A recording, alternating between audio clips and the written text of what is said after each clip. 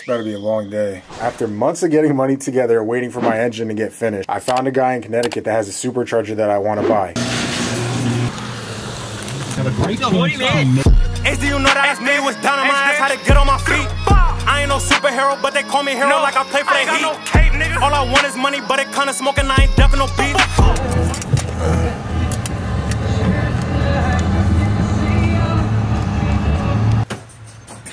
Shoot whatever you want. Um, so, uh, one last thing. So, I actually got to take the crank pulley off. Yeah. So the, the bolt is out, but I didn't have the um, the puller tool. So I went to AutoZone and I got it, but I actually got to pull it off. So it'll probably take me like 10, 15 minutes. Yeah, that's fine. This is the blower. This is the crossover pipe. And there's gaskets, so pay attention that you don't lose these gaskets. These gaskets fit right in here, obviously.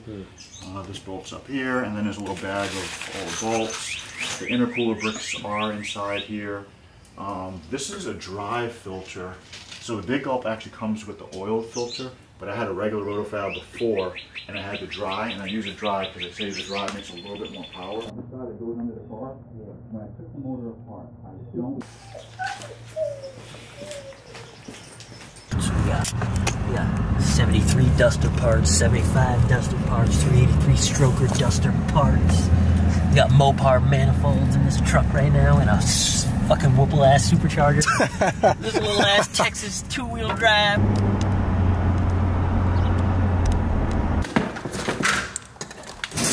Finally, after months and months and months of searching and waiting and ordering and canceling and so much bullshit that I had to go through. A couple nights ago, I'm like, you know what? Before I pull the trigger buying or pre-ordering a Whipple or getting a Magnuson for like 10 grand or going through a whole bunch of shit, I'm like, let me just check Facebook Marketplace and see. Like maybe there's something in New York or Massachusetts. So I typed in Camaro Supercharger and I'm scrolling, scrolling, scrolling and I found it. A 2.9 liter Whipple that's on an SS and it has all the conversion shit that I need, everything, whole kit. So I fucking went out there as fast as I could, met the guy cash ready. He said that he tracked his car a lot and uh, Whipples tend to heat soak, so he's gonna end up going centrifugal, and that's why he was selling it. And I got a really good deal on it. Came with the uh, 103 millimeter Nick Williams throttle body, Rotofab big gulp intake, uh, upgraded intercooler, SS conversion plates. I went ahead and ordered a Circle D torque converter as well, and a TCM unlock from Houston House of Power. So now I should legit have everything I need